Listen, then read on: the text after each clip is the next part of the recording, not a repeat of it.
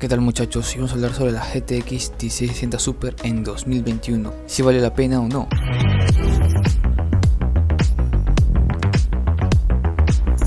La GTX 1660 Super, lanzada a finales de 2019, esta gráfica se consideraba de gama media, era de entrada la gama media, ya que después de esta solo seguía la versión T y después de esa la RTX 2060, que entre la T y la Super pues hay poca diferencia, pero el precio sí se notaba, el precio era muy, muy notorio. En fin, las características de esa gráfica son las siguientes. Núcleo CUDA de Nvidia tiene 1408, la velocidad de memoria es de 14 GB, tiene 6 GB de memoria GDR6, su ancho de interfaz de memoria de de 192 bits. Esta gráfica cuenta con GeForce Spirit, Nvidia Ansel, Nvidia Highlines o como se diga. Es compatible con G-Sync, tiene API Direct 12, API Vulkan y OpenGL 4.6. Tiene DisplayPort 1.4 y HDMI 2.0. Tiene Nvidia GPU Boost, también soporta realidad virtual y tiene el encoder de Nvidia, que esto sirve tanto para editar videos que pues le actives el código en el editor de videos y esto ayudará un poco mejor a renderizar las partes que requieran más de gráfica y también sirve para lo que sería hacer strings. Strings, este código pues no te quita muchos FPS. Soporta hasta 4 monitores. La energía de la gráfica, ¿cuánto te consume la gráfica? La gráfica consume 125 watts. La energía recomendada para tu fuente es de 450 watts. El conector de alimentación son de 8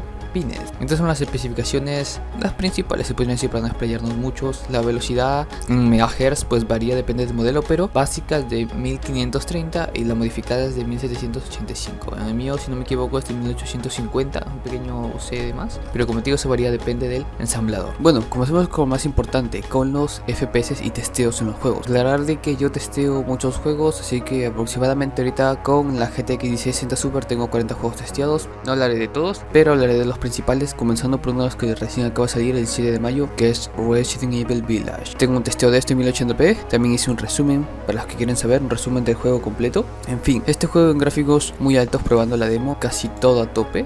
Probando la demo 1080p en la zona del pueblo, con casi todo a tope, no todo, pero sí la mayoría de cosas a tope. Teníamos un promedio de 86 FPS a 90 variaba, ¿no? Variaba, pero nunca bajábamos de los 60 FPS. Bajaba hasta 70 y la primera vez que abrí tenía tirones, pero la segunda vez que volví a abrirlo, la demo, pues los tirones se calmaron un poco. En la zona del castillo, en la zona del castillo pues tenemos mucho más FPS, y lo tenía limitado a 120. Y pues rondaba entre los 100, 90 FPS, depende de dónde estés. Si el castillo está más cerrado, pues hay menos carga gráfica. Pero bajamos, lo máximo creo que bajamos fue a 85 FPS aproximadamente. Ojo que al momento que la vampiresa te aparece, pues hay un poco un poco de carga por los efectos que tienen los murciélagos pequeños, pero esto se va a eliminar a la hora de que tú juegues el juego normal si te vas a comprar, ya que es una demo. En la segunda vez que lo abrí, como lo repito, los tirones desaparecieron. Seguimos con otro juego, fue lanzado el año pasado, a finales de diciembre, uno de los juegos más esperados que terminó siendo una sección por su mala optimización y sus bugs, Cyberbug. En Cyberbug con gráficos ultras tenemos en 1080p tenemos un promedio de 35 a 45 FPS aproximadamente y en gráficos altos de 40 a 50 a 55 en gráficos medios de 55 a 65 en gráficos bajos tenemos más de 60 hacia arriba. Tienes un procesador mejor lo aprovechará un poco ya que a mí en gráficos bajos me hace un pequeño cuello de botella cosa que me sobra el 10% de la gráfica. El juego pues sabemos que es un poco pesado pero no tan pesado como el siguiente. El siguiente juego que vamos a ver es The Med un juego que es de terror es en tercera persona una cámara un poco a la antigua pero este juego está muy mal optimizado la verdad. Al momento que la pantalla se divide en dos pues los FPS descienden mucho. A pesar de tener 1080p y todo bajo los FPS pueden bajar hasta 20 FPS 25 25 FPS, 30 FPS. En con cámara de una sola pantalla, que es cuando no está normal, sin dividirse la pantalla entre los dos mundos, pues hay muchos más FPS. Pero como repito, al dividirse esto baja muchísimo. ¿Es jugable? Pues sí, si puede bajar a 720p, puedes aumentar tus FPS más o menos, pasando a los 30 FPS, se podría decir. Este de momento creo que es el peor juego mal optimizado y pues pasemos a otro juego, ¿no? WAC 2 Lillo, que lo probé en gráficos ultra. Y pues iba a un promedio de 35 FPS por ahí. 30 FPS, 35, creo que a veces, creo que muy pocas veces bajaba de los 30 hasta 29 por ahí, en gráficos todo a tope. Es un juego un poco pesado la verdad, también podemos llegar a 40 FPS también dependiendo de la zona. En gráficos muy altos tenemos un promedio de FPS de mínimo 38 y llegamos hasta los 48 FPS. Esto va a variar, ya que al manejar a tope eh, en velocidad con el carro, los FPS pueden bajar hasta 38. Igual ya es más jugable que estar en ultra. Ahora gráficos, ahora en gráficos altos tenemos 57 FPS y que baja hasta 49 FPS aproximadamente. Acá pues ya es mucho más jugable en gráficos altos. La gráfica se siguió utilizando a tope con Ryzen 5 2600. En gráficos medios pues tampoco es que haya subido muchos FPS, pero ya nos apegamos más a los 60 FPS. Bajamos mínimo como a 50 y paramos mayormente a 60 FPS, ¿no? En gráficos bajos pues no te conviene ponerlo porque en mi caso impresor me hacía que bote. La gráfica se bajaba al 60% y pues no se utilizaba todo. En fin, pasemos a otro juego. Pasemos a un juego que fue muy jugado en el 2021, si no me equivoco, que fue Rush. Probando una configuración combinada, se podría decir, que está más en gráficos altos. Tenemos unos FPS muy bien, la verdad, llegando a 100, llegando a 100 FPS y bajando a 70 FPS. Esto va a variar mucho, depende de la zona, ya que pues por donde yo andaba solo caminaba por pasto y eso de ahí. Nunca estuve por una zona que haya mucha carga, pero igual se puede modular los gráficos un poco. Esto fue testeado a 1080p. Apex Legends a diferencia de Warzone y de Fortnite yo creo que está muy bien optimizado.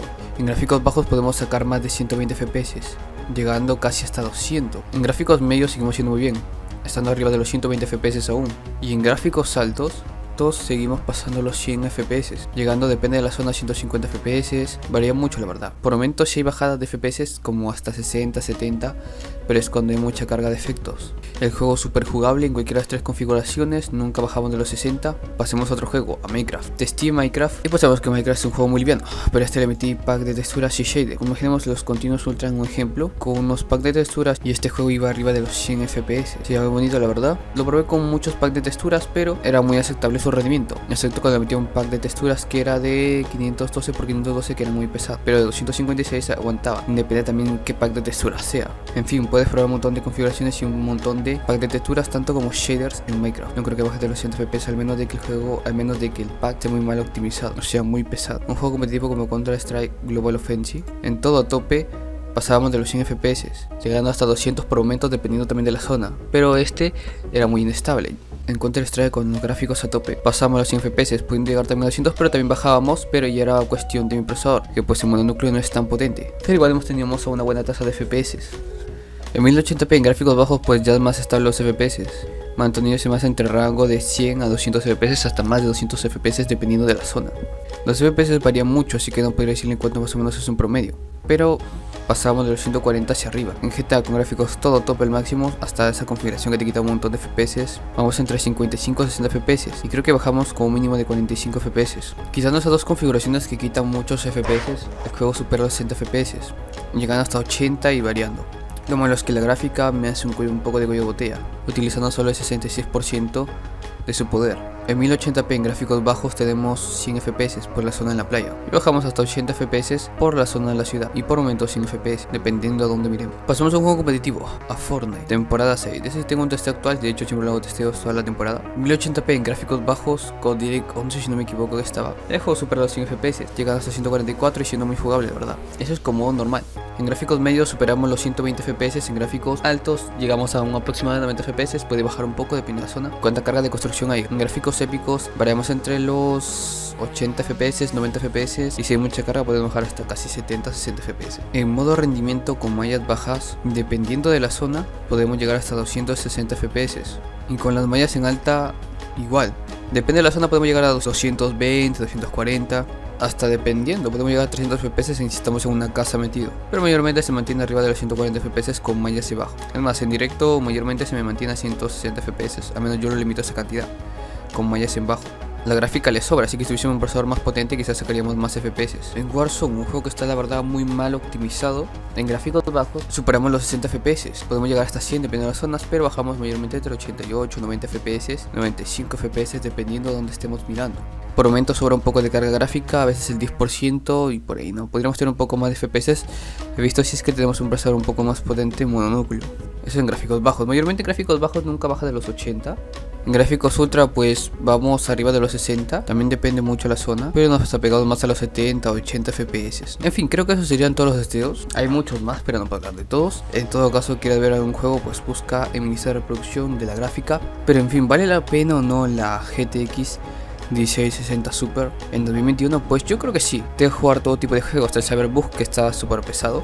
Te lo dejo jugar en gráficos ultras. Quizás no 60, pero a 30, más arriba de 30. Ojo que ahorita la gráfica sabemos que no están al precio que estaban antes, pero si lo consigues hasta un precio no tan caro, pues te lo recomendaría, la verdad. Fuera de eso cuenta con un codec que es para transmitir que no te quita muchos FPS. Es una gráfica que no consume tanto, consume 125 watts. Yo te recomendaría la gráfica, si es que tienes el dinero, aprovechalo y si te vas a comprar, cómpratelo ya porque los precios van a seguir subiendo. Esto tiene para rato. En fin, si aún no te convenció lo que he dicho, pues te puedes ir a ver muchísimos más textos que tengo en mi canal, quizás encuentres el juego que quieres jugar. También sigue mi canal de resúmenes, está en la descripción. Espero que os haya gustado, recuerda suscribirte y dejar tu like hasta luego.